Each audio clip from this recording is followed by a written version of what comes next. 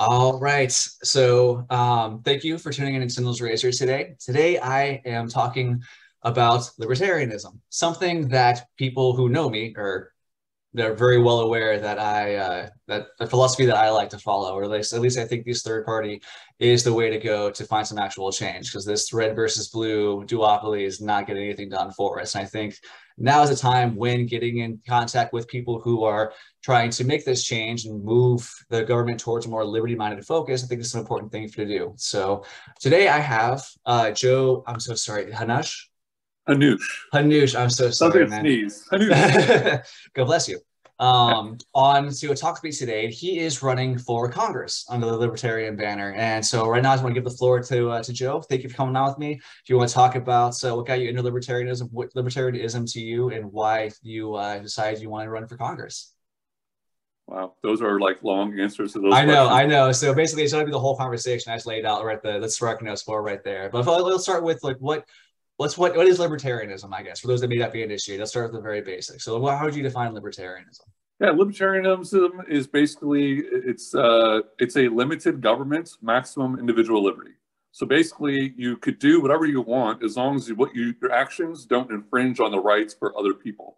So it like another phrase is like you know the golden rule: do unto others as you would have them do unto you. That's not exactly libertarian, but uh, basically, you know, just treat everyone with mutual respect.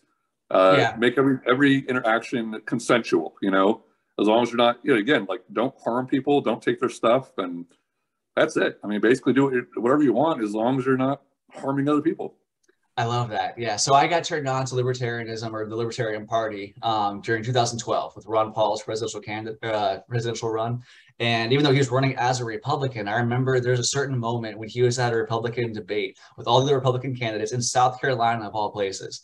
And they brought something up about, uh, I think they were talking about marijuana decriminalization or something. He was asked a question related to like, well, you know, would you decriminalize heroin? And Ron was like, yeah.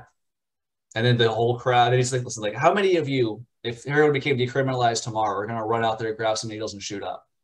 And the entire crowd, it's remind you, it was a Republican crowd in South Carolina in 2012. So like the entire crowd erupted in, in applause. And that's when I realized, like, you know what, like, just because something isn't great doesn't mean it should be illegal. Just because something's illegal doesn't mean that people, you know, should they're going to run out and do it. Because like if, if, you, if you say, okay, heroin, we're not going to arrest you if you got a little bit of heroin on you, or we're not going to send you to jail, lock you in a cage for decades and ruin your entire life because you, you know, had a little bit of a substance on you. It, it's not like society's not going to break down.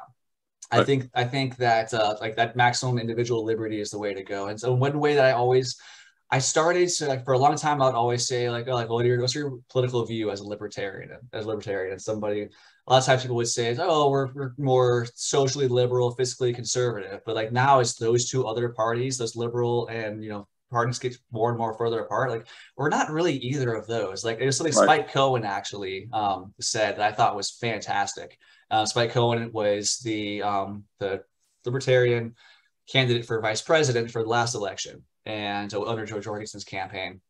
And I think one of the best things that happened for that campaign is him really becoming uh, to the forefront in a lot of uh, libertarian politics. I think he is a great messenger for the ideals. He's super knowledgeable. He knows his stuff. But he said, I think he tweeted actually, um, like it's fiscally, there's, there's socially, it's your business. Fiscally, it's your money. And I think having massive control over your life is is the way to go about it. So that's why I'm more excited to have more people like you who are jumping on these ideologies and like, hey, let's let's make some actual change. So so now we know where libertarianism kind of stands for us. Where uh, so what got you motivated to run a run for Congress? Yeah. So for for Congress, it was like basically the next step um, to talk about different issues, right? Because I had a run for state representative in 2018 and 2020, Mhm. and uh, so this was like you know, I wanted to run three times as a libertarian, so this is my third chance. And because of the U.S. Census in 2020, there's redistricting, right? And when there's redistricting of the of the maps, there you can collect petitions, which is you know one method to qualify for the for the ballot from anywhere in the state, if you're running for state or uh, federal office. So what I did was I was like, okay, cool, I could collect petitions from anywhere. This will make it a little bit easier to do. Still very difficult, but a lot easier to do. So I decided, and, and I could talk about you know not just state issues but federal issues now. Right. So I decided to uh, you know run for federal office and reach uh, five times more like more voters in that district compared to the state house uh, district. Mm-hmm. So I could reach more, you know more voters, more area, and talk about different issues. So you know more libertarian uh, you know viewpoint of those issues. So that's why I decided to run for Congress for that one. That's awesome. So yeah, that's something that I think is it's, it's really just a prime time to get some of these ideas out there because now like people are seeing every single time they go to the gas pumps consequences of not Ukraine, not Biden, not even necessarily just Trump, like decades and decades of yeah. terrible fiscal policy between the, the the unconstitutional Federal Reserve just printing checks all the time. The inflation is running rampant. Like like libertarians have been, been pulling the alarm on this inflation thing for a long time. Yeah. And now, as soon as it hits, we're like, oh, if only someone was warning you about this 10 years ago when you did the first quantitative easing during the wars and stuff like that, right? That was us, yes. Right. Like we so so like if you want to talk about consistency, like a lot of people will say, like, oh, Bernie Sanders, I don't like his stuff, I like that he's consistent. Like, we'll look to the gold party. We've been consistent for a long time.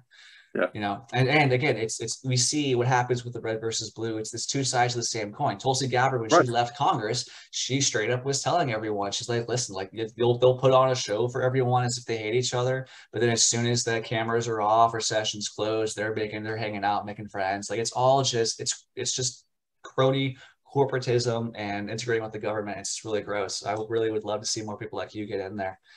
So yeah, it, it it, it's all an act in Congress. I mean, you hear like Justin Amash and Thomas Massie, they'll talk about it. And they'll be like, you know, there, there's literally, you get elected to Congress and you, you have an orientation with your, with your respective political party. And they basically say, you're going to vote this way on a bill, how we want you to, or we're going to primary you. We're not going to give you any money. You're not going to be on any committees or anything like that. Mm-hmm. And it's cronyism. I mean, it, it really is two political parties pretending to be against each other, but they're all working on the same side. You know, occasionally they'll vote against it, but whenever they do come together and compromise or whatever, it's to grow government, to infringe on your rights, to take more of your money. And that's it's both parties doing it. You just look at history. Trump did it, you know, Obama did it, Bush did it, it so on and so forth.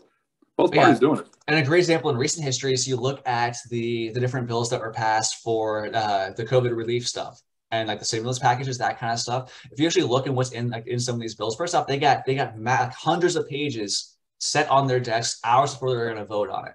Like these, these aren't, these are pet project bills. Everyone's just throwing in whatever they want, giving it a catchy name. So it sounds like if you're against it, then you're against, uh, well, like the, the Patriot Act, the, the Patriot, oh, if you're a Patriot, you'll, you'll, you'll, do this. Like the fact that, you know, if you're a Patriot, you're voting for it. No, if you're, you're if you want all the rights that make you a Patriot, start getting eroded away. You want to be spied on by the NSA. You want to get data aggregate collection happening. I mean, yep it's i mean we could we could easily tangent on multiple different things but like, like accountability is something that i think uh, our government has very very little of. And i think that's something like you mentioned that um, um term limits or something that you would be for um, right. when you go to so what, what kind of term limits would you be looking at? Yeah and you mentioned accountability and that's part of it. Like i have something called the abc policy and A stands for accountability. I mentioned the C already, uh, consent and or constitution. I haven't like set which one I want there yet, but consent or constitution. And consent really is in line with constitution because like, okay, the like the Bill of Rights is like telling, telling government you can't do this unless I give you permission to, basically, or I won't do it myself. So that's the consent and constitution part.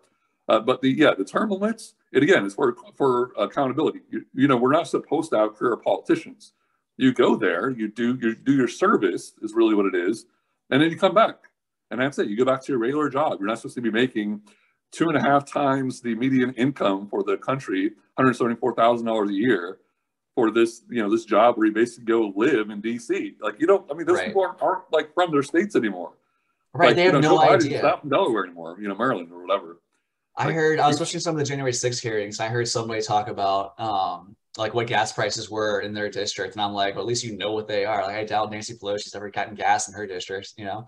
But, I mean that goes for many, many people in uh, in that giant corrupt organization as well. But so like something I was gonna train of thought real quick. I was gonna say something else, but anyway, there's just so so many things I want to talk about here that I think are really cool. So let's let's talk about some of your stories, some though, because you mentioned um, that your parents are, are immigrants. And immigration, of course, is something that's a, a, hot topic right now. And libertarians, I've seen libertarians go both ways on this. The party doesn't really seem to have a, a one stance on it, which I like. I like the diversity of thought and the conversation that arises. I've seen some that are very open borders. I've seen others that say, like you, for instance, say like an Ellis Island approach. So if you want to explain some of that, I'd be very happy about that. Yeah, and you know, when it comes to like immigration, it is one of the divisive issues in the Libertarian Party. Uh, and here's the, I'm going to steal a quote from Larry Sharpe. and he said, "You could be being a libertarian, you could be as conservative or as liberal as you want to be. Just don't use government force to enforce your ideas, right? No, so you can be close borders, it's fine, right? But uh, as far as like what I go for, and I have this personal experience. My parents immigrated here to escape a tyrannical government. My parents are from Iraq, right? Oh, so wow. they grew up there. Yeah. So it was one of those, you know, hot countries really. And they left right as Saddam Hussein was taking power. So they came to the United States. They came here legally. Um, I was the first person born in my, my family, actually, um, you know, here in the United States. And, you know, they spoke the language already. And, uh, you know, they celebrate the holidays. Like I go to, to you know, um, Thanksgiving, you know, my parents spoke all the yeah. time, right? That's an American holiday. We didn't have Thanksgiving in Iraq. Right. Uh, so yeah, I mean, like everything, you know, the paid their taxes, they haven't gone to jail as far as I know. and you know, they're, they're, small business owners, and you know, to me, that's the American dream. They came to the land of opportunity here in the United States, and they fulfilled the American dream. I've seen that firsthand. So I'm thinking, like, okay, these people, my parents, escaped that tyrannical government. By the way, my dad voted for Donald Trump twice. So people like Republicans like to say, like, oh, they're, they're these immigrants coming in here and vote Democrat. No, they're not. The, the, Cuban population voted for him in the last election substantially more. Like there are a, lot of people that I know who are either like like related to or know first generation immigrants are are voting so that they, they don't want everyone to come rushing in here and taking advantage of these systems that they're trying to use as opportunity to, to take care of themselves. Right. Yeah, and, and that's another thing is like the other one is the they're you know they're coming here to take uh, you know welfare or whatever. Okay, so you have an issue with welfare. So sunset some of the welfare and make it go to where it's supposed to be, like you know churches and you know other civic organizations, like you know local organizations that can help with that. Yeah, I mean that's what I mean that's what churches are for, right? To help the, yeah. the needy. There you go. So let's sunset some of the the government welfare and go to a more probably far more efficient and um, uh, tax. Um, you know, they, they already don't pay taxes, right? So right. they could use some of those services. I think that's probably part of, of the point. You know.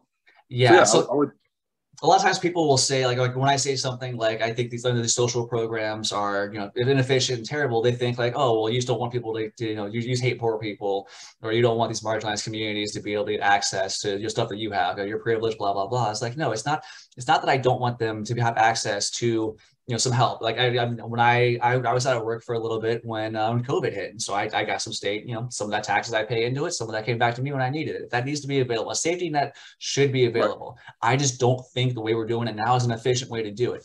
When it comes to even Medicare and Medicaid rife with fraud or, or fraught with uh, fraud and it's, it's, it's they're inefficient check writing machines. A lot of times the money is being used to be taken advantage of. Resources aren't going where they need to go. Whenever you have a top-down system trying to help people out like that, it's not going to happen very well. I do like the idea of having, you know, increasing the charitable aspects, having having community outreach. Like now we're just saying like, oh, we're trying to write you a check, send it wherever. It's like, no, well, the churches you're talking about, well, they know where who needs help in the community. So they're usually the ones right. that have the soup kitchens. Those are the ones that are feeding these homeless people.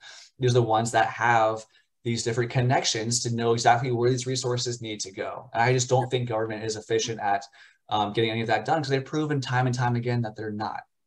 Uh, yeah, churches are literally part of the community. I mean, you know, people know where they are. They, like I said, they have soup kitchens. That's what it's supposed to do. I mean, I'm not saying like, and I agree with you with the safety net. I'm not saying pull the plug on every, you know, right, welfare yeah. thing tomorrow or anything. I'm saying like, let's start to sunset some of those things. Like, you know, if, if like you said about like you know uh, the uh, you know the, the paycheck stuff, right? The, the, you know the you know if you you're, you're paying into it, right? So you should get it back. I know some people will be like, oh, there's no libertarians in a pandemic. I guess there are. Like those checks we got, those, that's our money. It's like right. the government is giving it back to us. So I'm like, okay, of course I'm going to take it and yeah. cash it. It's my money. Right. So yeah, well, especially a situation where like that's a weird situation too. People that, that, that some people have, have said that to me as well. They're like, oh wait, like you, took a check from the government during the pandemic. Like, hey, it's my tax money in the first place. Right. But but B, this is not like you have the, the reason I can't work is because the government shut it down. They deemed they right. deemed me unessential. Right. So if you're gonna say I can't work and take away my ability to care for myself, you better give that back. And that's why that's why I, I get so sketch about things like um, being able to determine who's who's if uh, essential and who's not. Yeah. Like if you're supporting yourself and a family, every job's essential. 100%. Especially when you're so uh, hypocritical about it. When you say like, oh, these small mom and pop restaurants and grocery stores or like like farmers markets, these aren't essential. You can't have these. No, Walmart's open, Target's open, and they're making record profits. Like everyone's con- everyone's like, oh, these corporations, they don't care about you. They're doing all this stuff. Like the reason they're making all this extra money, these record profits, is because they, the government shut down all the mom and pop places. Like over 50% of small businesses that shut down during the pandemic were not going to ever reopen. Maybe higher than that. That's a stat from Yelp I read a year ago. Yeah, I think like Amazon stock, which basically does all the shipping stuff. Everyone like couldn't go to Walmart anymore or any you know mom and pop or whatever. They had to get shipping done, right? Because everyone said, "Oh, yeah, the government told you you're gonna die if you leave your house," right? So I think it was on the WhiteHouse.gov or whatever that actually said, uh, if, if, you're vaccinated, you, you go enjoy your family on Thanksgiving. But if you're unvaccinated, you're probably going to kill them or something. I don't, I don't know. It was something about like, the word, the wording. It was during the Biden administration, I believe. It was like a, it's like a, a season of death and disability. I think those yeah. words were used somewhere in it. But like the entire thing was just very, it's, it's hyped it's up a lot. Tactics. Yeah, and, and and people, I think I'm I'm fine with the government giving information. Like the CCD, if they want to, you know, Biden, whoever, Trump, whoever it is, give information. You know, make it factual and everything, but don't mandate things like, oh, if you're a nurse, you've been working in the pandemic for a year and a half now, but now you have to get vaccinated or you lose your job. That makes no sense. Like they, that's insanity. Yeah, that's yeah. crazy. Literally, absolutely... nurses a year and a half through this pandemic working the front lines, and now you're telling them if you don't get this vaccination, you get fired. That's crazy. It's it's, it's they, they turn so it's so quick from from hometown heroes to uh, plague spreaders real fast. As soon as people are like, wait, I don't want this mandatory vaccination, you know, and it's it's it's been interesting watching different reactions to when you put pressure on society. Where the pressure comes from, whether it be real pressure from an actual pandemic, or then you have, or you know, more trumped up pressure coming from a government's overreaction to that pandemic you see, you can see what starts to happen. The way society starts to shift, and uh, 2020 was just such a, a, a complete s show of a year. It's um, it got. I mean, we had pandemics, we had riots. Like we are playing apocalypse bingo. You had most of that card filled out. There was a fire in Australia, I think, in January of that year that everyone forgot two months. That's later. right. It started. It was devastating. Yeah, that's right. Well, they, there was protests in China, I think, just before that, like in December, I think, of the year prior in, in you know the Middle East uprising in countries and everywhere, there was a lot of stuff going on that just like completely went away from you know the front pages of media because of you know the pandemic, worldwide pandemic. And, and that's something. You mentioned the gas price. I want to hit that for one second because oh, I've seen so please. much, so many people um, say like this is oh this is Biden's fault. I I I missed the mean tweets from the orange Cheeto or whatever. right. I'm not I'm not calling them that. This, these are what people I've seen like say you know, because gas prices were so low during 2020. And I'm like, gas prices were so low because there was a, a huge inventory, you know, the supply chain wasn't disrupted yet. And, you know, everyone was staying home just like, like that, like basically overnight, right? So of course prices are going to go down, go down. That's supply and demand, right? Exactly. And now we still have part of that supply chain that needs to catch up but we have like everyone is basically out and about and doing their thing again. Much so that's demand. going to be that's going to cause yeah high demand and low supply or like kind of backed up supply causes higher prices. Now, of course, Biden's policies and Trump policies has a little something to do with that, but for the most part, it's supply and demand based on the world governments. Right. So, yeah. So everyone's looking at what it's, it's the role, I don't know why anyone would want to be president anymore. Like, a, a the office has been so bloated and over powerful over time that it, it's not even what it's meant to be in the first place. It's supposed to be like a figurehead position. You're not, you, you don't have that much power anyway. Now everyone looks at the most powerful man in the world. It should never have been the most powerful person in the world in that office. I agree 100%. And, and I tell people that all the time. When Biden was on office, or you know, he's still in his office, but when Trump was in, Biden, in office. Well, his body's in the office, but at least mine yeah. has not ever been there. I said is my that, words. That's, that's kind of the point. Like, and I, and I saw something like meme. I think it was today or yesterday, where it was like we have someone with uh, uh mental health, and again, it's not me saying it. Someone else is saying it with uh, mental health, you know, uh, issues with the you know his finger on the nuclear weapons button. But these these same people are saying that you know the average Joe out there might have a mental illness and can't own a you know an AR-15 or whatever. Right, and right. That's a good point. That's a good point. and that, that's why I'm saying like government shouldn't be making the decisions for everybody. You know, murder. Last time I checked, is still illegal, no matter what you use. You can go and, and choke someone to death, run them over with a car. stab them with a knife or shoot them with a gun, all that is bad. All that is illegal. So why are you, you know, weaponizing or trying to ban one weapon or that? I mean, we're not banning knives, we're not banning cars, uh, drunk driving. You know, it, it's a person making a decision to drink and then go drive. Right. And someone dies based on that. Are we banning the car? Right. No, no one's suing Ford because someone got behind it with a you know yeah. 0.09 and hit, hit uh, someone else. You know, it's. Right. I mean, someone probably is, but um, but the point there, the point there is, is it's the individual. Like we already have laws saying don't do this. So yes. now the idea is so, so I just to to try to devil's advocate the, the argument a little bit. I'm I'm I'm very pro second A. I think every gun law is basically an infringement, but um I, I, like to I like to try to bridge gaps between understanding. Like well because we i mean if i say something like that it seems like i'm a radical that wants to buy tanks and rpgs and stuff. And I'm like well yeah but also there's there's some more yeah. yeah yeah yeah i can't afford it. Inflation.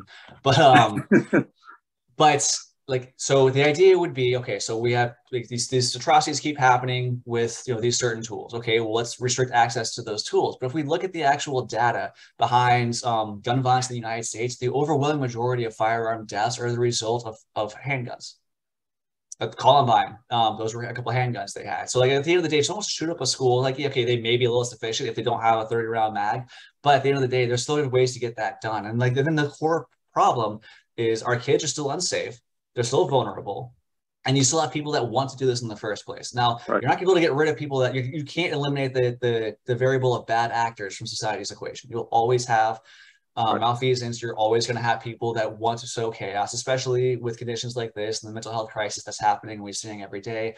That's going to get worse, not better. So there has to be a way we can live with maximum liberty, but also protect ourselves as well. And I think this I think this boils down to there's a school in Palmetto, Florida, a little bit above Bradenton. That I have not substantiated any of this myself. It's something I saw from someone that, that tends to kid to school there. But they have armed private security, I guess. They're not they're not, they're not uniformed except for a, uh, a, a vest, like a Kevlar style vest that has um, the security officer, something like that on it, holding a long rifle and um, it's very, very, very visible next to the metal detectors outside of the front of the school. They have, they've limited points of entry and access, and those points of entry and access are guarded by someone with basically a BFG. He's got a big freaking gun, and he's showing everyone like, "Hey, I'm, I'm here to deter it and also stop it when it happens." And I think the the the the completely negligent display of the Uvalde Police Department during this last shooting in Texas shows that okay, well, you want you want only the police to have guns well, what are they going to do with them? Arrest the parents who are trying to rescue their kids while someone else with a gun inside is tearing them all up?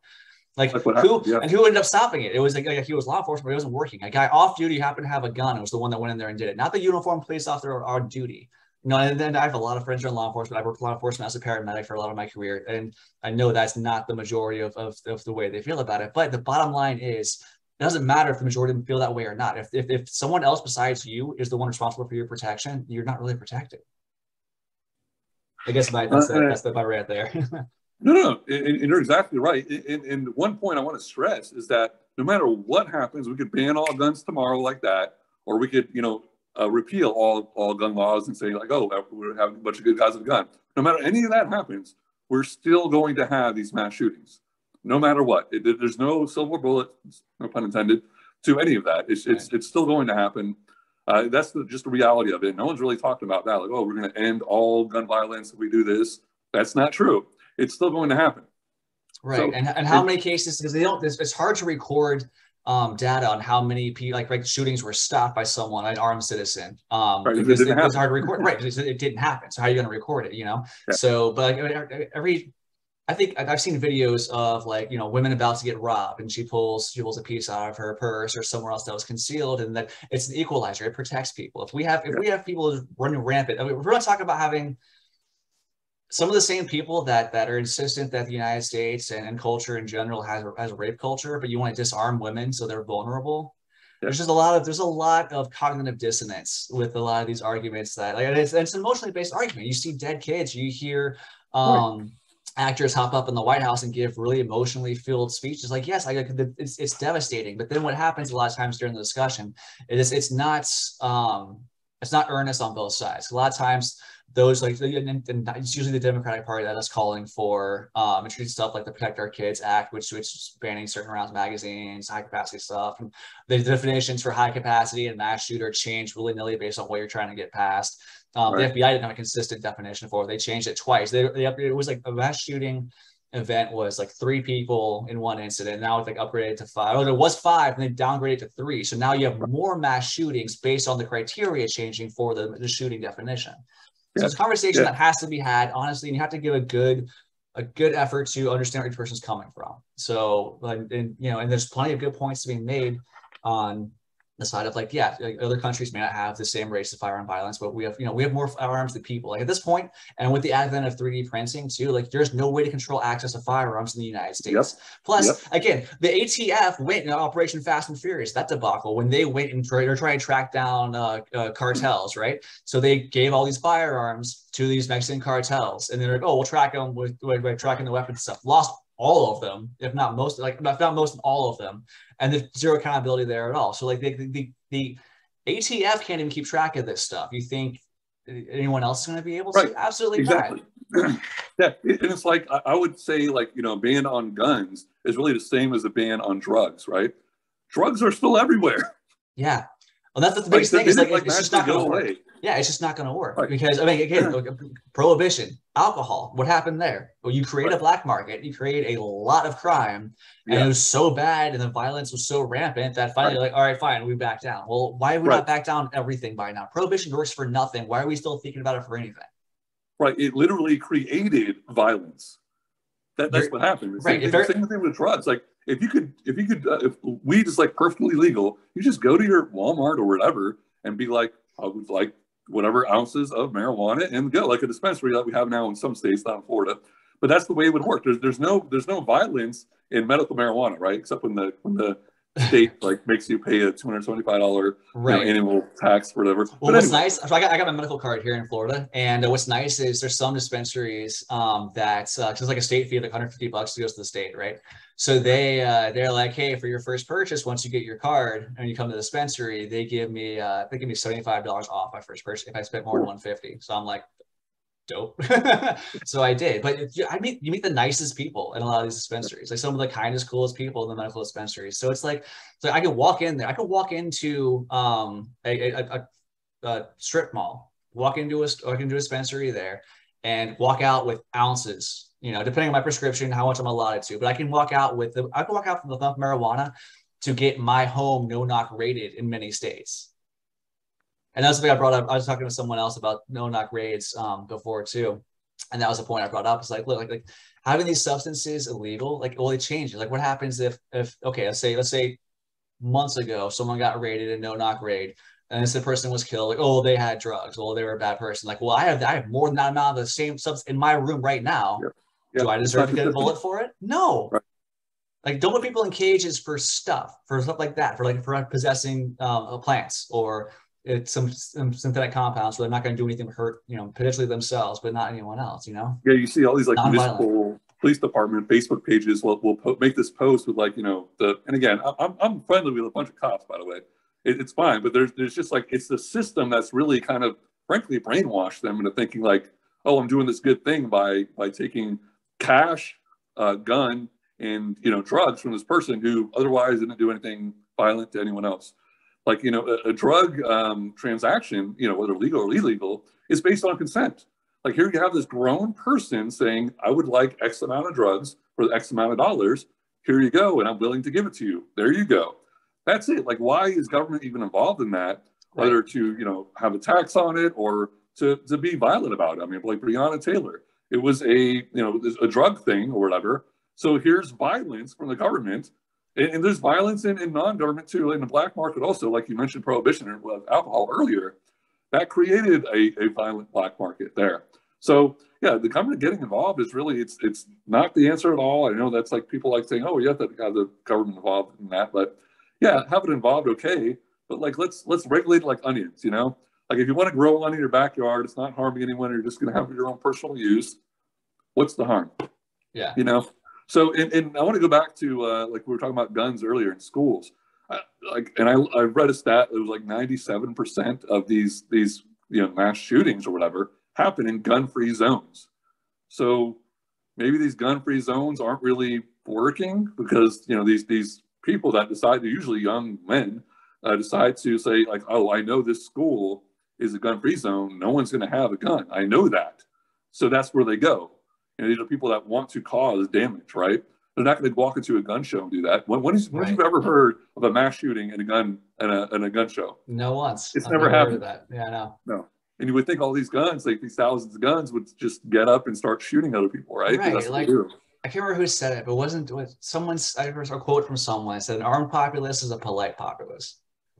Yeah. And I mean, yeah, there's the you know there's an aspect of mutually assured destruction there. But if everyone if everyone has the ability to protect themselves, let's say if you want if someone wants to do something bad, but then they think about their targets. Oh, I'm not gonna I'm not gonna go somewhere where I, am gonna have a resistance to that. You know, like if anyone wants to do a mass shooting, they're not gonna go to DC at the friggin' mall, you know, in Washington DC and start opening no. up because there's no. there's guys with guns everywhere, women women with guns armed all over the place. And then the same right. the, the, the, the hypocrisy of people who advocate for gun violence or for gun uh, um, laws, restrictive gun laws. Surrounded by people with guns. They're surrounded by people with guns. Like Hillary Clinton tweeted something a couple days ago, said no one needs an AR-15, and I'm like, why? Do your guards have better? Yeah. The person behind you, yeah. Right. I'm like, like see three people in suits all around you every single time you walk anywhere. I'm like pretty sure they've got something equivalent, if not more powerful. Yeah, like literally, the White House has like a a gate around it with people with guns. Like I remember, like uh, I don't remember exactly what it was about, but I think like Trump um, like was tweeting out like live tweeting an event happening at the at the White House where he had like it was caged and said, "Oh, we're having the special like selective service with guns and we're going to shoot anybody that comes on." I'm like, I can't believe this is actually happening. Like, this is the president right. of the United States like, like using violence, gun violence on people. I don't know. I mean, I'm not calling for anyone to go, you know, invade the White House. No, of course not. The president, but I'm just saying, like, yeah, don't even go on a tour there. We all, we all see what's happening at the January 6 hearings. No, yeah, uh, that could be a whole other tangent we can go on for a while too. But uh, but yeah, so the gun issue, of course, is one that's it's, it's very prominent right now. That's something that right. libertarians are always very like, listen, like, yeah, and, should have access the, to these. The, yeah, and just one more point I want to make. Like you mentioned the emotional um, uh, uh, reaction that lawmakers have to these gun violence right here in the state of Florida. And I was actually running for state representative at the time, so it's kind of an interesting timing uh, when when Parkland shooting happened. Mm. And there, there was kids that students that went to the Capitol building in Tallahassee and all laid on the ground, like in the you know, the rotunda there.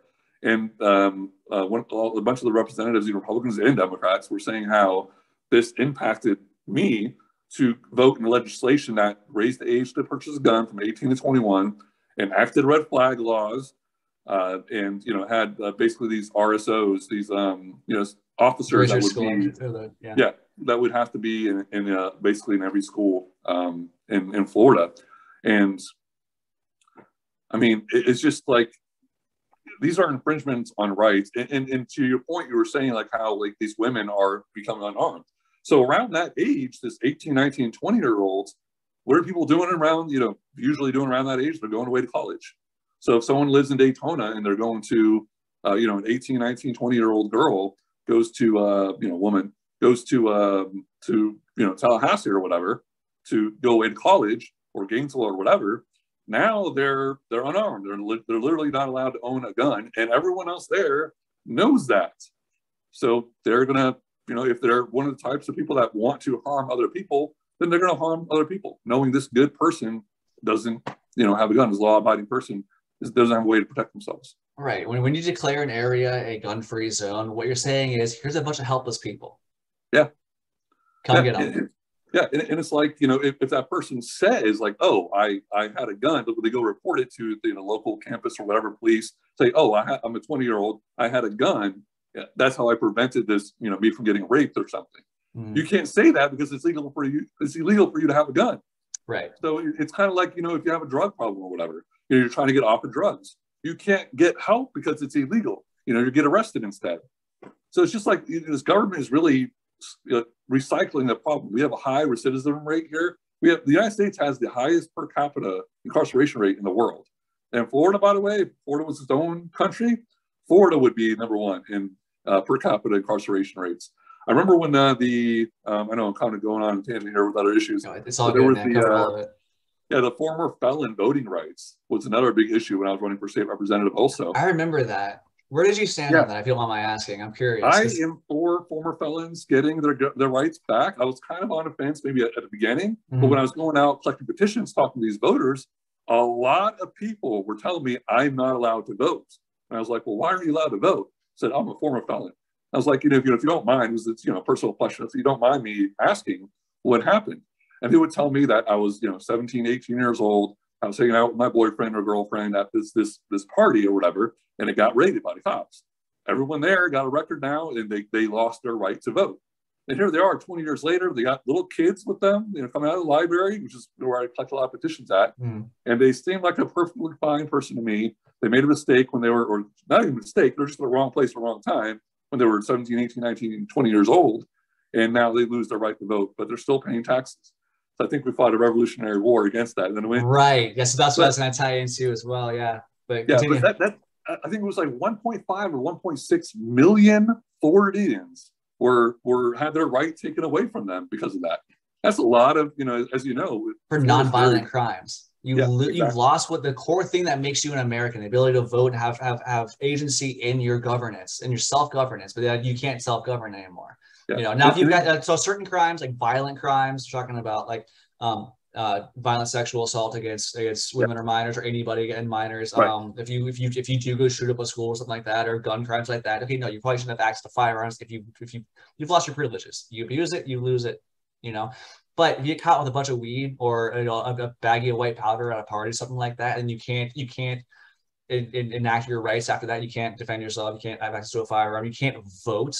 Like your ultimate, like like everyone's talking about, like democracy is so important that we're sending $80 billion of weapons to Ukraine to arm their citizens, be to disarm ours and then say that, you know, that we're just not as important. Like, what are we doing? Yeah, I know. It doesn't make sense. It's government it's, hypocrisy, which is nothing right. new, really. No, no, it's the status quo, unfortunately. No, but I'm gonna I'm gonna like take a slightly different um, uh, opinion on the like if you're a former felon or whatever. And, yeah. and this that that that um, that bill that well not a bill it was a constitutional amendment that passed uh, did not um, include uh, former like violent felons or no. ones for sexual. Yeah, so they were still they still yeah. don't have the right to vote. Okay, so right, yeah, so, like, so that, that bill in particular would not have given that. So that bill, I was in the, I ended up supporting that bill because it, it, it non-violence um, felons basically would get some of their rights back, and a lot of the stuff that right. makes people a felon is for non-violent reasons is absurd and shouldn't be a crime in the first place, much less a felony. Yeah. So yeah, yeah. definitely definitely the same page. So that I thought was a good thing. Yeah, it, there's one kind of kind of mixed bag with it though.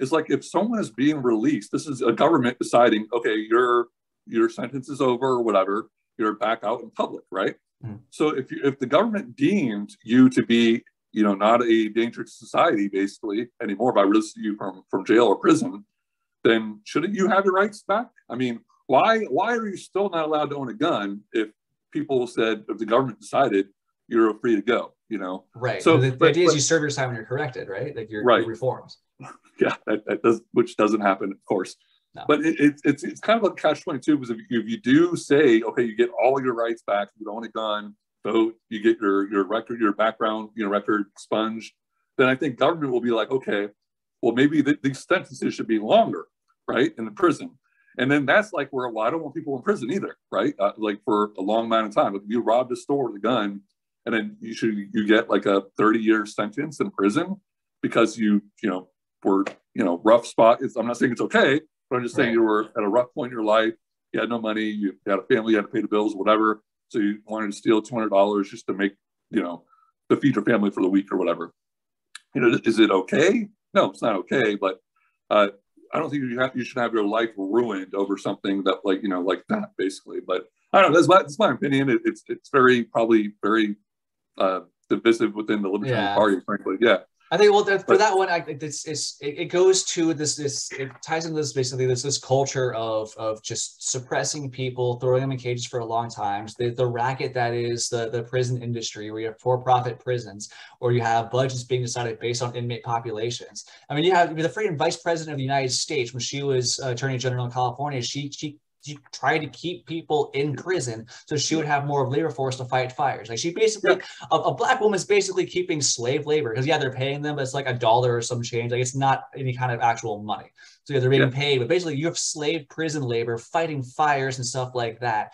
And she's trying to keep people on in prison for that kind of thing. But that's, that's not just this one example that happens throughout the entire prison system throughout the United States. Well, here's another example. Uh, we had uh, Barack Obama, who was a Democrat, who Democrats are supposed to believe in, in you know, legalizing cannabis and all that stuff, right?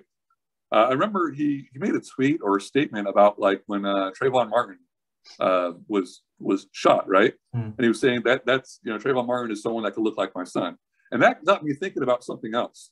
It got me thinking about like how many people that look like Barack Obama, you know, young men, young black men, frankly, young minority men, are in prison right now because of something that you know he has the power to pardon all those people, to deschedule any drug he wants. He has the unilateral power as president to do that, and they're all still rotting in jail over nonviolent. Sorry, I got a call right there. My bad. No, no, you're good. It all popped up with your uh, with your Joe Hannoush for Congress and everything. Oh, it's very that's very official. I liked it. That was perfect. I should just keep that completely off, right? Yeah, right. Most people listen anyway, but um, but yeah, no, that's it's a fantastic point. It's like a lot of the people that will get up there and grandstand by saying we need to do this, we need to do that, have the power to do it, but they don't. Yeah. Whether they don't because yeah. it gets railroaded in in Congress or filibuster or whatever, that's one thing. But for the most part, people have the actual power to make these changes, and they don't do anything about it. Yeah, and I want to tell a story. I'm going to say real quick, but it's probably not to be real quick. I'll try to like uh, speed through it. Though. I'm in no time, but, no time crunch. No, all right, so so I'll tell kind of a long story here. When I was uh, when I was first, you know, getting a voting age and whatnot, I would like watch the governor debate and uh, and you know presidential debates and all that stuff, and I would take notes. I'd be like, you know, this issue, do I agree with this person or that person or whatever? And this was like when I was like completely within the duopoly, right? You had to be either Republican or Democrat. So anyway, I was uh, early on. I was more of a Democrat, right? So I was like, you know, they believed in, you know, uh, legalizing immigration. Again, my parents were immigrants. I thought they were good people. Right. Kind of biased, but you know, whatever. you know, they, they believed in, you know, decriminalizing marijuana, which again made sense to me. Uh, you know, same-sex marriage. This is when it was still illegal to do. Like you couldn't get married to another person of your sex. Right. You know? That's during our adult lifetimes is when that when that yeah, literally was, legalized. Like years ago. I was actually I was I was on a flight to San Francisco when it happened. I landed, heard the news, and I'm like, oh, this week is gonna be lit. and it was. It was the most fun Pride parade. I've been, I mean, being in Orlando has been a lot of it was Orlando's been great for Pride. Yeah. But uh, when, when going to uh, going to San Francisco and experiencing that, it was it was really really cool. Yeah, sorry, the world didn't end or anything, right? Which is like what half the people in the United States were basically saying, "Oh, the world's going to end" or whatever. And that's right. one thing I'm really happy and proud to be a libertarian is that back in 71, 1971, when the party was formed, we were in favor of, of same-sex marriage. Our first presidential candidate, uh, John Hopkins or, or John, whatever his name is, but he was gay. And we had a, a female as a vice president candidate. This is 1972. Right. You know, that stuff didn't yeah. happen, right? So we were way ahead of our time. And our one of our previous, um, you know, uh, national uh, party um, uh, Libertarian National Party uh, chair people was gay, a gay guy. You know, we just have a woman as the last one and a woman now currently. Yeah, so uh, Angela McArdle, I think, is the new, yeah. the new chair of LP National, which, which I, I'm not going to lie, like the, the it's the tweets at least from LP National have been substantially better since uh, since she took office a couple like a week or two ago. Yeah. I don't want to talk about internal politics. politics no, no, no, no off the air. So you and I get to play it off the air, sure. But uh, but it's the party is started in a good direction. It keeps getting better and better and better. And we're making a lot of positive uh, changes now that are going to be you know continuing yeah. that that freedom movement. Yeah, one note about their social media though, like when that when the um, I noticed the day the, the first day of the um the, the you know the convention that just happened. Mm-hmm. I look back at the the uh, Libertarian Party of um, you know Libertarian Party Facebook page, right? 700,000 plus followers, right? We should be using that all the time. There was like one post in the last like 10 days. And I was like, what is going on here? Yeah. How are they not using this like three or four times a day? And it's been like 10 days with like one post. Right. And I was like, can someone please, you know, update the Facebook page or whatever, like share something or whatever. And, and that's, they've been sharing a lot of stuff recently, which I'm very happy with. That I share it like, you know, on my local Libertarian Party Volusia mm-hmm. County page and, you know, my campaign page or whatever. And you know, try to make comments like Spike Cohen does. yeah, I've been trying to I've been trying to get more involved in because I, I I always I was always kind of a I don't know, I guess backseat libertarian, I guess I'll say, or like I I'm, I'm registered to the party, um, but I didn't really get involved in a lot of the different people that are involved with it. And like I didn't really have a big. I had friends that like philosophically were libertarian, but not like registered or not participating in like the conventions, going to the meetups, stuff like that, or getting like actively involved as much. And I noticed yeah. over the past couple of years, so many wasted opportunities during COVID, especially for libertarian messaging to really take the forefront, yep. especially during the last election. Like yeah. we had, we just had all this authoritarian stuff happening, and some people are just like, so you're talking, you're talking about legalizing sex work. Like, okay, yeah, I'm for that, yes, but that's not the big issue right now. Right now, you people losing their livelihoods and their lives due to oppressive authoritarian regimes, and you're not talking about that. So there's yeah. some messaging. So there's a lot of missed opportunities there. So, but now that um, you know that's over, I think a lot of good things are going to be coming up, and um, it's definitely I want to follow more of that a lot closer. Yeah, and, I'll go back to what I was saying before before we started talking about inter-party politics. But going back to uh, like going how I was um uh what was I going to say the going to say okay so I, I was okay. a, a, you know I was in the kind of the duopoly right yeah so I was a, a Democrat yeah I'm just continuing the story from oh no that's right yeah yeah you were you're... yeah so I, I was a Democrat right and and I would you know vote you know do notes on debates and everything so I was a Democrat early on. You know, a lot of their issues made sense. You know, I was I was for you know legal immigration, you know, making it easier to come here, uh, for same-sex marriage. I was for uh, you know decriminalizing cannabis, like all this kind of like I don't think you know people should be you know the government should be going to wars everywhere. This is when the Democrat Party was anti-war, right? Right. I think John yeah. Kerry was like a big figure back then. I was 20, 2004 um, candidate. So so I was I was like all this stuff makes sense. Like let's do that thing, right? So I was a Democrat, I voted Democrat, I voted for Al Gore in 2000, I voted for John Kerry, who was the first person to come out against the wars, right? This is like 2003. Uh, so I was like, you know, I voted for John Kerry in, in 2004. And then I was like, you know what? These Democrats aren't actually doing any of these things that I, I wanted them to do. Like we just got out of you know Afghanistan, we're still kind of in Iraq. So I was like, you know, they're, these, they're not really doing any of these things. So I, I kind of looked at the, the, the, other party. The only really party I paid attention to was okay, here's the Republican Party. So I was like, you know, I, I like their less government because obviously government is the cause of these issues that I cared about, right? This mm. same-sex marriage, this uh, uh, you know decriminalization of, of cannabis, this you know these wars. This is government's fault, really. So I was like, okay, well, I want limited government. I want government out of our lives. That's what Republicans were talking about over for liberty, for constitution, you know, limited government. So I was like, okay. So I voted for John or John McCain in um, in 2008. And around that time, this is how I became a libertarian here. Uh, my best friend at the time was a libertarian, and he told me about uh, you know this guy Ron Paul, who was running as, on the Republican ticket. And I, and I, you know, I watched him debate. I'm like, yeah, these ideas will never work. like, get rid of the, the, Department of Education. No, we can't do that. You know, get out of the wars. It sounds good, but that's never going to happen either. Right. So I, I kind of like just ignored, you know, Ron Paul at that point, which I think most people did but that, that seed was planted, right? Mm. So in uh, leading up to the, and I was already done. Like after 2008, I was like, okay, I, I can't vote for these people anymore. I registered NPA, no party affiliation here in Florida. So I was uh, after being, you know, both parties kind of hypocrites, right? So I was like, uh, you know, what am I? So I found this quiz online, and I think it's still available. This is like over 10 years ago now. Uh, isidewith.com. So anyone listening, I encourage you to go take that. It's like a very in-depth quiz you take. Uh, ask you a bunch of questions, not just yes or no, but yes because or no because. And um, so I took that, and it gives you percentages at the end of it. And it says like I was like a 90% libertarian or something like that. And like the next drop off was like the Constitution Party at like 70%. So there was a huge gap, right? And then like after that, there was a huge gap down too. Like Republican was like 52%. So I was like, okay, I know what I am now. I'm a libertarian, right? Yeah. So I looked into the Libertarian Party. I was like, oh my God, everything here makes sense. It's like they're in my head, right? And I looked at like who was running in, in 2012 as a libertarian. It was Gary Johnson, John McAfee, um, uh, Austin Petersen.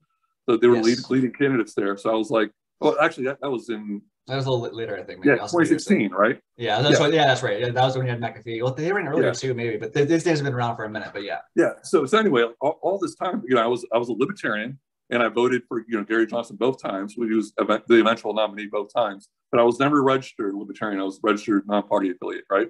So that went on for about like five years, where I was like that. Then I was like, in 2016, I was filling out my ballot, right? So Gary Johnson, of course, there was a libertarian running here in Florida at, for U.S. Uh, U.S. Senate as a libertarian. Okay, check there. Everything else is like Democrat, Republican. I, I looked into them. I was like, God, I, I hate these people. yeah. It's either it's either I know you have a proven history of going against what you say, so you're a hypocrite, and the, on the other side, it's like you just have bad ideas. Right. So, so I was like, you know, I hope you're a hypocrite, but whatever. So then I was like, okay, I got to get involved. I got I got to run for office. I got to be the change I wish to see. So that's actually what got me involved into running for office. And the guy that ran for U.S. Senate here in 2016 was from my county. He was from from DeLand here. So he was like, you know, a neighbor basically. So he like said, okay, we have a, a libertarian party here of Volusia County. And I was like, okay, cool, I'm in. so I, awesome. I, I I changed my voter registration in December of 2016 to Libertarian for the first time. So I decided to run as a Libertarian before I was ever registered Libertarian. Nice. Yeah, so I ran in 2018, and of course, the, the you know the issue we already talked about the uh, the you know the gun infringement uh, issue came up here in 2018, and in 2020, uh, the uh, COVID happened, and we had government shutting everything down. And I know people still today say that DeSantis didn't shut down businesses. Yes, he did. He shut down stuff. Well, especially like like I had friend, I had friends that work and own um like like bars and places yeah. like that, and like like or, breweries, like small like breweries are some of the like one of the best. I love I love like independently operated breweries. I love it. A lot of them were suffering because the whole food situation. Like, yeah, DeSantis, he was better than a lot of governors yes. on COVID, but he was not perfect. Yeah, if you're grading on a scale, A, right? But yeah. if you're grading based on, frankly, a libertarian point liberty? of view, yeah, no, C it wasn't there. Yeah, no, yeah. So he shut down bars, and and I, and I knew some, you know, like folks that worked in you know breweries and whatnot, and like they had like this stupid like rules where you had to have like more revenue in, in food than you did in uh, like that's how they got around. Like, oh, we're not to shut down bars. We're going to shut down places where you know like like clubs and stuff where you had to you know where the the revenue was like less than fifty percent food. Mm actually, I went on this local uh, radio program here uh, in Volusia County, and I, I basically like gave out an idea. I was like, okay, so charge three dollars for a bag of chips, or stick a bu- bubble gum or whatever, and make the beer free or a dollar or whatever. And there yeah. you go, your revenue just went higher on the food, and that would be a way to get around it. But I, I was against all that. And locally here in, in Volusia County, like we have Daytona Beach, right? Mm-hmm. So the, the local side. county, yeah, the Daytona County Council were shutting down the beach. Like you can't go on the beach. Like literally vitamin D is what helps you and it's all there. Right. And like, okay, and you got plenty of room to like spread out and whatnot, but oh, you can't go on the beach anymore. Right. That was the most egregious stuff. Some of the local people shutting down public areas. Like yep. you're, you're keeping people inside their homes where they're right. going to be spreading this thing a lot more. Right. And again, like, like, getting out there, vitamin D is effective for this kind of thing. But then being yeah. out and like moving air, circulating air. Yeah. That's the big thing with HEPA filters and airplanes. They're circulating air through stuff. yeah, they go through filters, but you have outside, like you, it's so they're so expansive. You don't need all the filters and stuff. Like the wind's gone in, the, in a split second. Yeah. But it's just it's a lot. Like I think the the main thing that I think people are starting to finally see and I think these last couple years have really shown us that is that the people that we put in charge, we expect solutions from, don't know what they're doing. I agree. Or they're told what to do by special interests. Like right. we have a we have a lot of money, and you can look through the financial, uh, you know, the the campaign finance stuff of, of major political parties, of uh, of um, you know major you know candidates or whatever, and it's like millions of dollars, right? Right. We don't, be really sad. Large corporations giving money to the Libertarian Party or Libertarian candidates, right? Because they, they know we're not going to like sell out and like oh you could do you know we're not going to keep like the the monopolies in place, right? We're not going to remove, or we are going to remove these restrictions on startups, right? Right now, people that have an idea to start a company or whatever, you got to worry about all these things. You got to be about the uh, worry about like fees and licenses and like taxes at different levels and whatever and stuff. Yeah. So yeah. There's, there's there's a huge bar, and I'm really glad you brought that up because I wanted to segue into it perfectly. But talking about um like the American dream, coming here, starting a small business, like dude, I I know so many like underemployed doctors from other nations, like or even, even for instance, even I went to when I was in the, the fire academy, I had uh a, one of my uh, one of my squad mates came from Puerto Rico where he was a firefighter, a bunch of experience and like yeah, a little bit of a language barrier because English was pretty, pretty good, but communication was, you know, maybe not as great as it could have been, but it got a lot better. But the point there being is he brought a bunch of great skills and experience from there, but he still had to go through bunch of other schooling and stuff like that just to get to the same level he already was in a different place. But then on the local front too, if you want to start a small business, then yeah, like, like why do you need a license to cut my hair? Like I understand if you want to do certain things with chemicals, stuff like that, okay. But here's an idea: make it optional. If I want to get my hair dyed, okay, well I may not go to the the woman down the street who's just cutting hair out of her garage. But if I see a trim real quick, I'll go to her, give her some money, and it should be it shouldn't be an issue. You know, like so these they create these barriers to entry for these small businesses where you have to have um, licensing fees, all the certification stuff, things like that, for things that probably shouldn't be an issue. Like, like you're gonna be how many lemonade stands get shut down? Exactly. I was just gonna mention that lemonade stands. Like I, I, I go, like I make a point. If I see a lemonade stand, if I'm on my way to, way to somewhere, you know, I keep going there. But I always like when I get, you know, when I'm done with that, you know, errand or whatever, I always try to come back and like buy something from that lemonade stand. I always overpay too. yeah, I always give them a tip. Like I'm with the change here, just keep it. Yeah, yeah, and, and, I always ask them why they're doing it, right? And it's usually almost always they're raising money for something, right? I, I, I want to yeah. like buy a new pair of shoes. It's like silly things, really. But some of it is like, you know, I want to uh, like my, my my my dad wants me to do this to you know learn how to have my own business. I'm like, awesome, that's awesome. And I always mention like you're an entrepreneur, and you know what? What always happens? I never see any permit or license be posted anywhere, and I never get charged any sales tax. Right. So but no, I think I think that's awesome. And what's wrong with that? And obviously they're underage, you know, they're not old enough to work, right? Right. But here it is. Here's like everything about this is illegal, right? But it's working fine and, and people love it, right? So what's wrong with that? Like, why can't we have this for everybody? Right. You know, lemonade just, stand for all. Yeah. Well, like, like if someone wants to, if someone wants to trade their goods or services or whatever to someone else, these are private con- these private contracts between individuals you know, whether it's a verbal contract being like, okay, I'll give you, I'll give you 25 cents for a cup of your, of your sugar, yellow sugar water. Uh, that's, I'm, I'm agreeing to that. The producer's agreeing to it. That's a verbal contract. Boom. Like, why, why do we need other people involved in that contract? You know, and obviously on that level is different than if you're talking about mutual corporations, stuff like that. But the principles should be applied to a lot more than they are.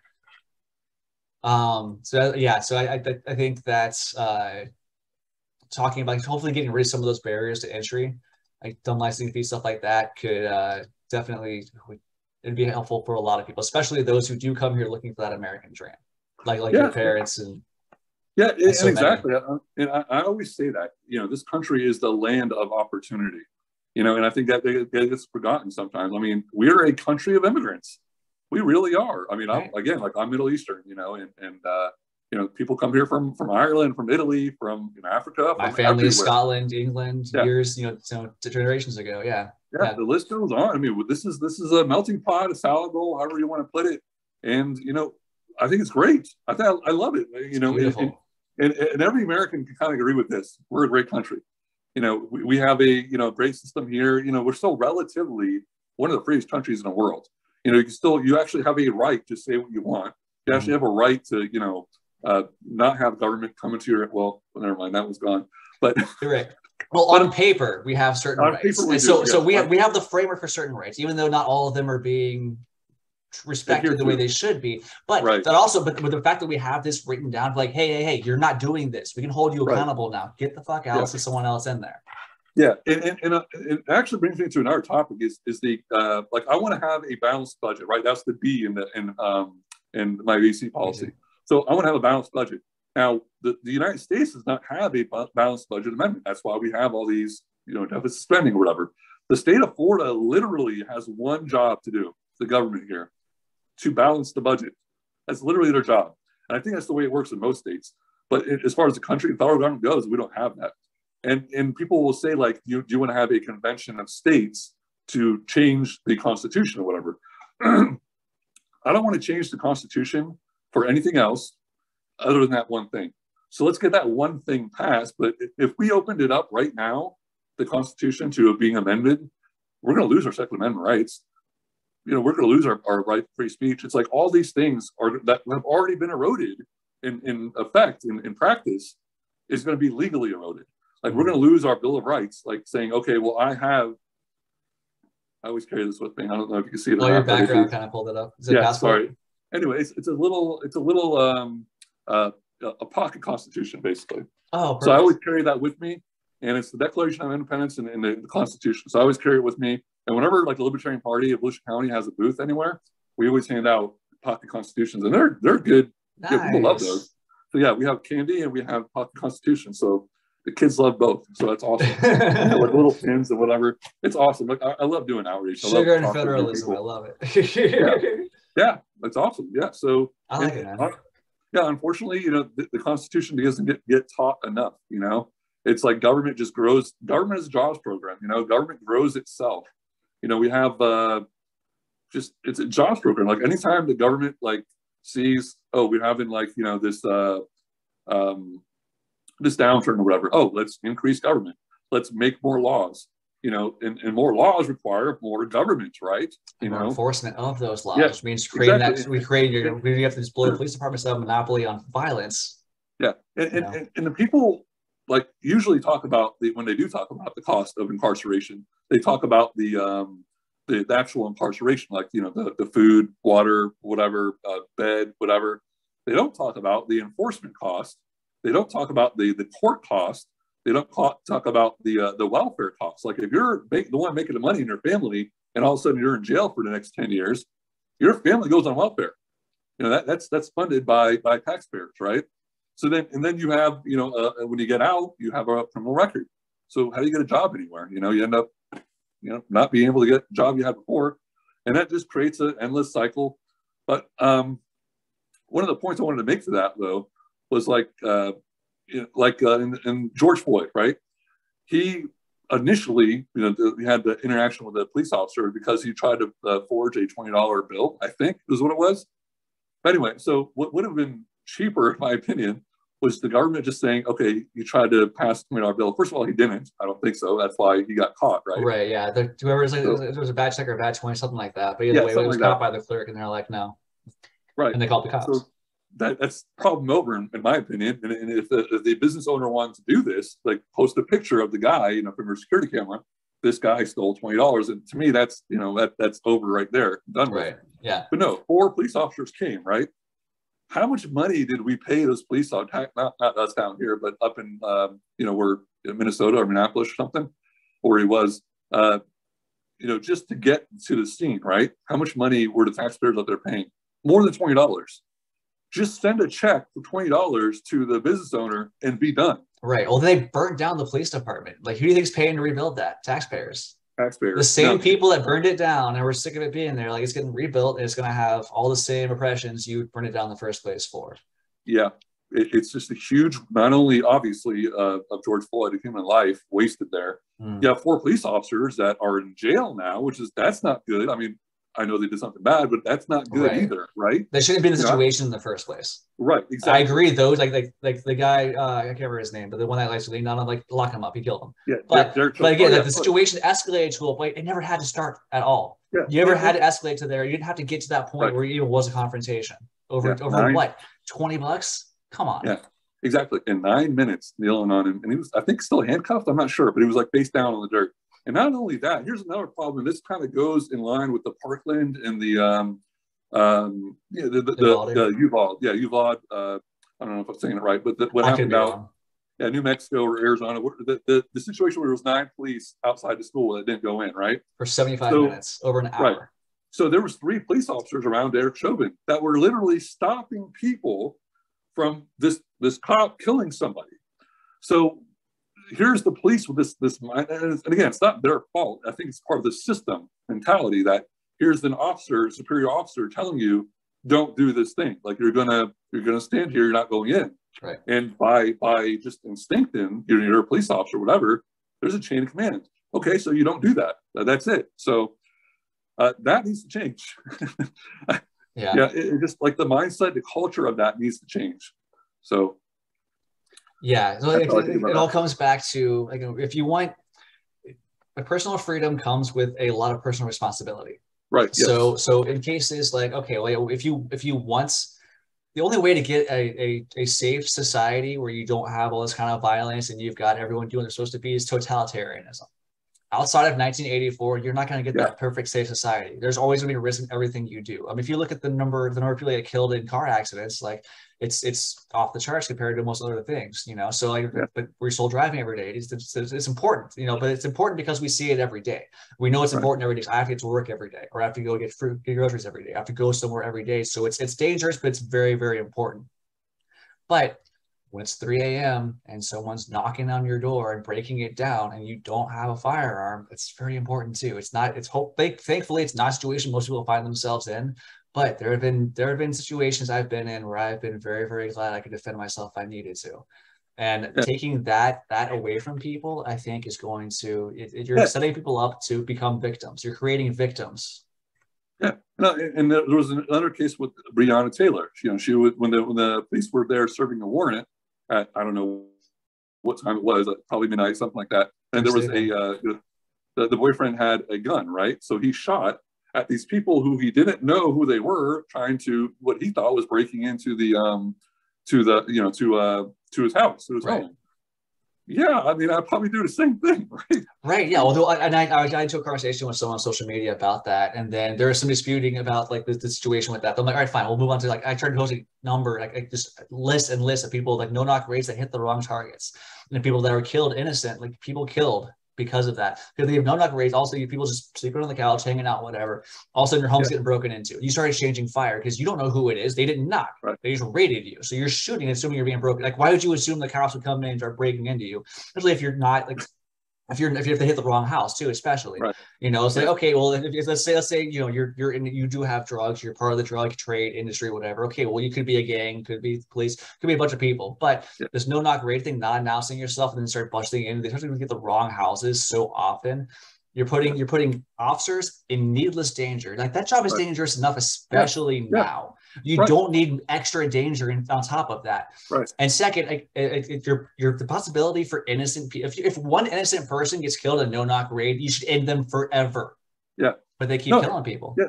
And you, you, bring up a good point. It's not just about the innocent victim, right? The person that you know that, that's living in the home, right? It's also the police. I don't want the police in danger. Right. You know, and and, and uh, people like you know have said to me like you know I'm against the police. like no, I'm not. I'm for the police. I want, I want them to be safe. Yeah. I, yeah. I want them to go home. Right. I, I want them to to not have as much workload to do. Right. Because you know police they, they go to do accident scenes and take reports. You know the next thing they could be on is like you know taking care of like a robbery. You know live, live robbery. Yeah. Uh, domestic abuse. Like they have like a litany of things they have to do. Like you know take dealing with a panhandler. Like the list goes on and on and on. They do too much I want to relieve them of some of the things that they, they have on their shoulders, you know? Like, so that, that's one thing to do is like, you know, decriminalizing drugs. Okay, now go seek help somewhere else. You know, the homeless, like, again, there should be, you know, churches or whatever stepping up and providing those services for them. Um, another one is, um, you know, like like prostitution or whatever. Again, like if, if a consenting adult wants to exchange sex for with another consenting adult for money, why is the government involved? That's between you two. Like, right. why is the government even like having these, you know, the, you know, going undercover as a hooker or a John or whatever? Legalize it right. already. Right. How much money are we, are we entra- how much money we spend entrapping people? You know? Yeah. Like, we could talk about, we could go on tangent on any of this, but another good example of the entrapment thing is the FBI situation or the involvement with the plot to kidnap um, Governor Gretchen Whitmer. Remember, there's, a big plot to, to, to uh, kidnap the governor that was reported, but then they found out like seven out of the 12 people involved were all associated with or direct agents of the FBI. It's like that's why that's January 6th. Well, Thomas Massie during the January 6th hearings, he actually he spoke up. He was like, "What do you confirm or deny any of the reports about um, agents or assets of federal agencies being present during this time?" And then instead of just saying no, uh, the AG was like, uh, I, am not going to break norms on discussing ongoing investigations. And I'm like, well, this entire hearing, this entire hearing is an ongoing investigation. If you're not going to talk about the the only questions Americans have that really matters right here is was the were these reports substantiated or not?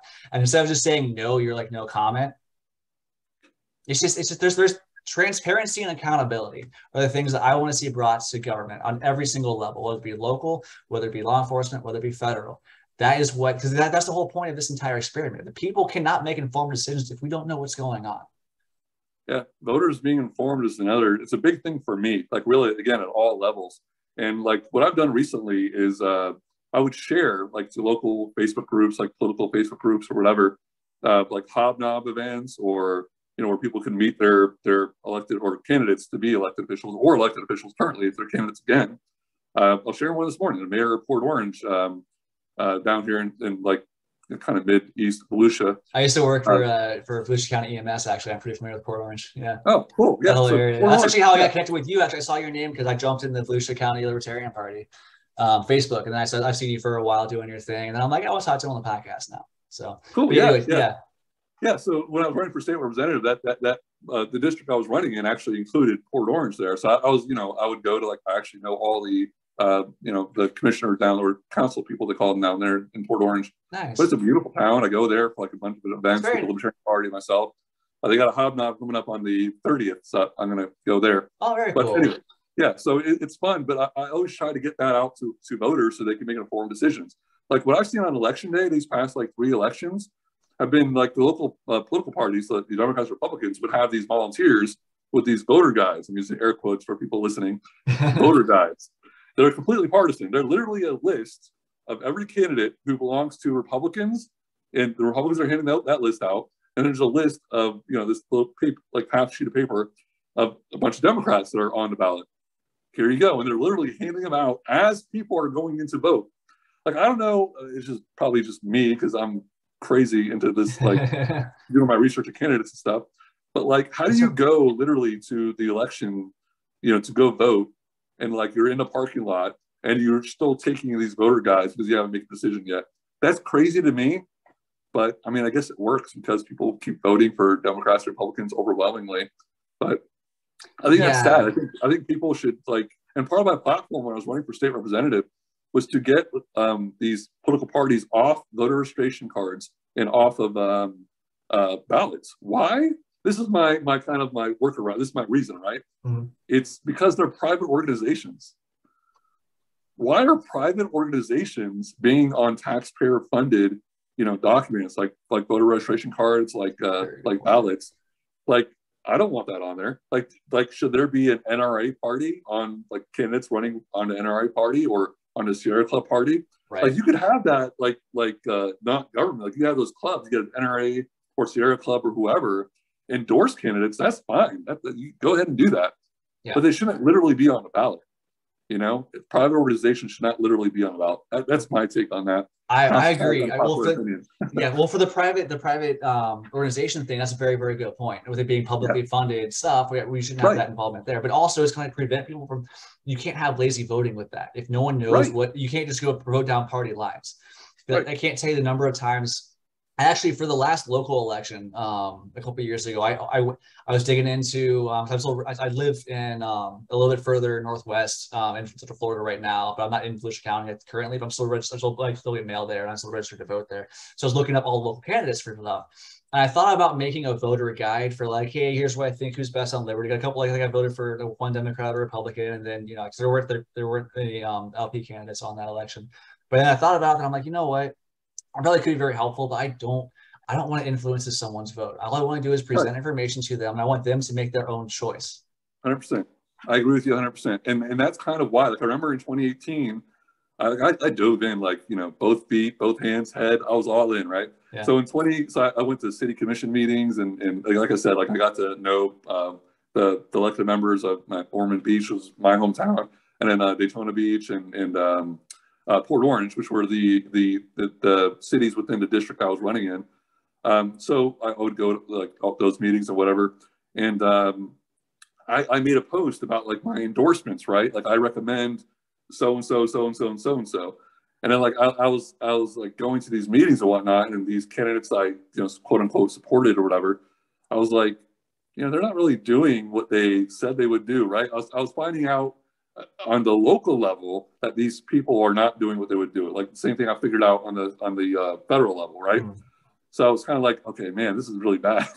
Yeah. So so I was like, okay, I just want to do exactly what you said. I want to inform voters. I want to do stuff like this. Like I want to share this for other candidates for the voters and be like, okay, voters get informed now, right?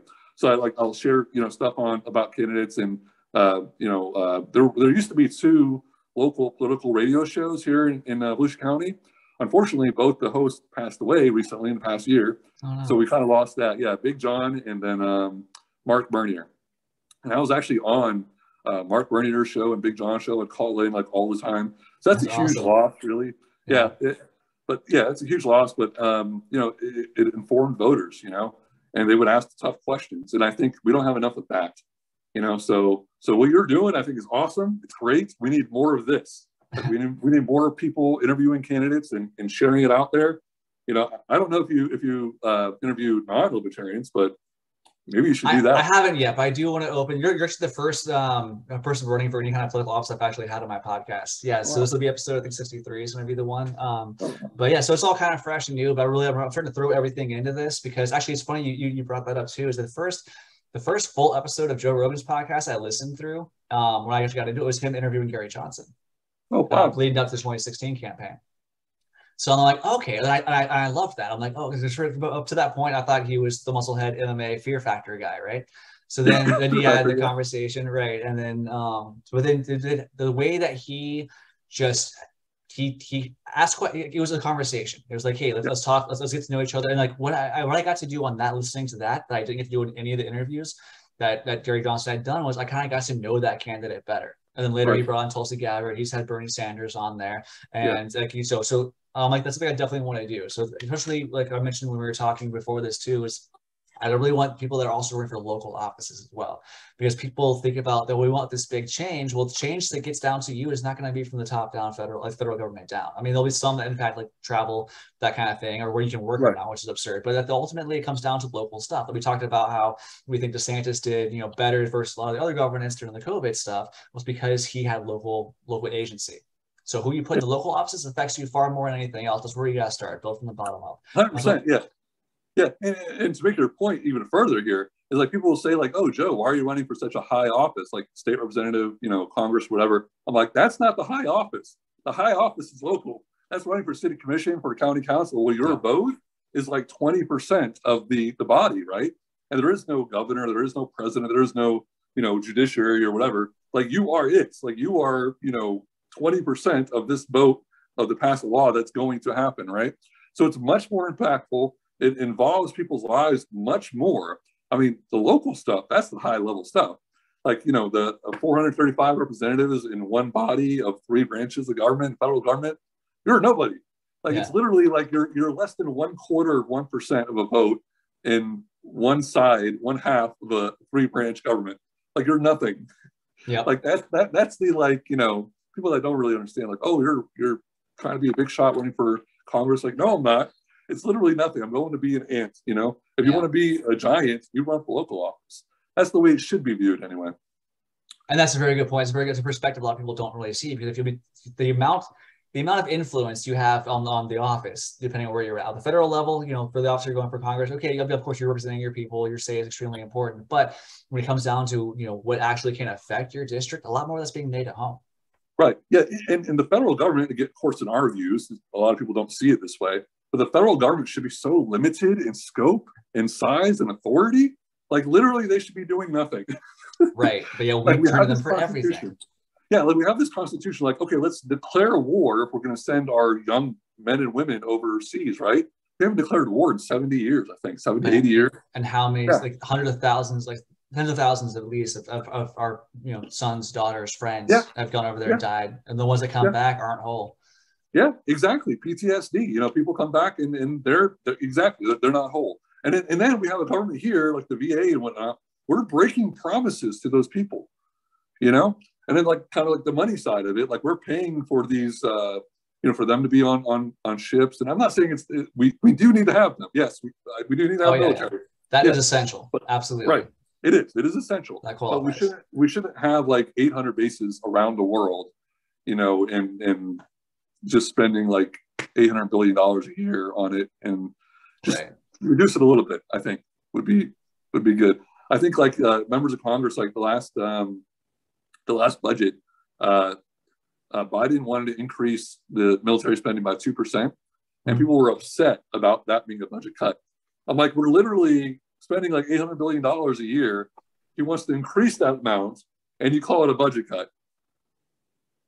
I don't know. That my mind is right. blown at that. Well, it's almost it's almost like they're all they're all we see like CEOs of businesses, they're reporting to shareholders, right? And the, the idea there is you're trying to go for this like limitless growth. You're always posting higher and higher numbers, right?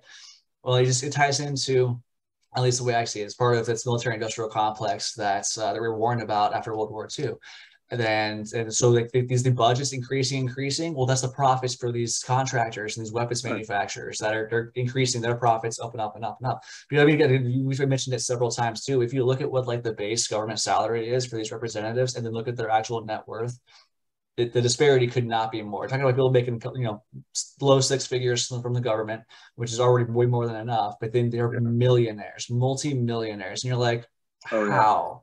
Like, oh, your yeah. speeches aren't that valuable. What's really going on here? and it's not it's not the speeches people are paying for. They're paying for their votes. No, and here's another thing, another side to it is like you know they are getting money from these speeches, but they're going on Fox News, the media, right? Fox News, MSNBC, CNN, whatever, and they're becoming a, a public figure, right? And that's how they get invited to like you know the local you know Republican and Democrat clubs, and they get these five, six, thirty thousand dollars speaking fees or whatever they sell a book and you know make millions of dollars off of that or whatever and it's just like you know they, they, like the obamas i think were like they weren't even millionaires when they they you know got in the white house right after yeah. that they're millionaires now wonder right. what happened there the like, irony of that too is, yeah, Obama. Obama's like, "Oh, we're gonna get rid of Wall Street, all this stuff," and he pulls his cabinet full of Wall Street bankers. And the first thing he does when he's out of the office, he makes a Wall Street circuit, giving yeah. speeches for for millions of dollars all over the place. Yeah. It's like, like, look, like I, it's it's the accountability and, and visibility is what we really need to bring to the office a lot more. I, I will I will hand it to Trump though. He actually lost money being president. I think he might have been the only that, one. yeah. yeah, he's still a billionaire, but you know, whatever. But uh, yeah, to, to, the point of that, like even in the state representative salary, is not even thirty thousand dollars a year. It's just shy of thirty thousand dollars a year. But you'll you, you have to file a, a financial um, you know disclosure or whatever when you're mm-hmm. a state representative. And I'll, I'll look at some of the other you know candidates that are running, and it's like millions of dollars. Like they're worth millions of dollars, and they're taking this thirty thousand dollar job for what? Yeah. Like they're they're you know they're there for a reason, right? And they're not representing the people. Uh, okay, cool. So um, Joe's back on with me. This is days after I recorded the other one because yeah, technical, technical difficulties got cut off a little bit. But um, I just want to give him this chance to come on again and, and basically kind of summarize what we were talking about and uh, give him a chance to give his own outro to this. So, Joe, you get the floor, man. Yeah, thank you again, Justin, for letting me come on again here and, and your time before as well. I appreciate it. I love your podcasts. They're all good. I listen to them like, I don't know, like four or five of them in the past, so it's been good. Uh, but yeah, yeah, yeah, I appreciate it. Keep doing it. Uh, yeah, as far as the campaign goes, yeah, I'm running for District Six here in Florida for Congressional District Six.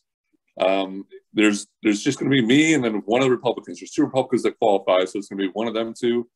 Um, if you you know if you're in the district, it's uh, um, some of like Volusia County. There's um, uh, basically like the Daytona Beach, um, South Daytona, um, the land area north. It'd be like Ormond Beach, Pierson, that area there. Uh, south of there, though, is out of the district. I know it changed because of you know gerrymandering and whatnot. But yeah, like Port Orange, Deltona is out of the district. But you know, I'm still here, so I'm trying to, to get my name out there. Joe Hannoush for Congress. Um, like again, go back to like all Flagler County.